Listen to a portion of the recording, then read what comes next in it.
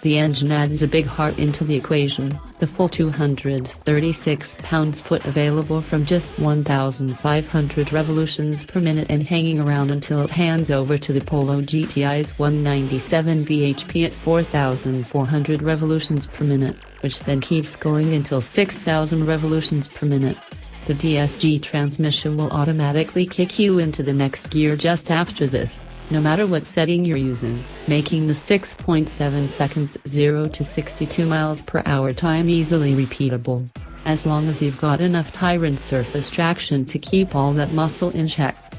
See above point about tight turns, and prepare to be patient if driving the GTI in the damp. The 2.0 engine could sound more exciting, but we suppose inoffensively parpy is better than loudly annoying for most buyers in 2018 tested with the optional Sport Select suspension, which uses twin-valve dampers to deliver fixed comfort and sport settings, like, but not as extreme as, the Ford Focus RS. The Polo GTI will happily do supple to the extent that big distances hold no fear.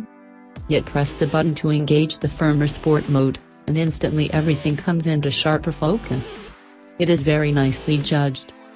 So about those tech details on the 2018 Polo Hot Hatch. Cool stuff to thrill all your mates begins with knowing that the new Polo GTI was in development alongside the regular Polo from the start. This allowed a dynamic steam, headed by Karsten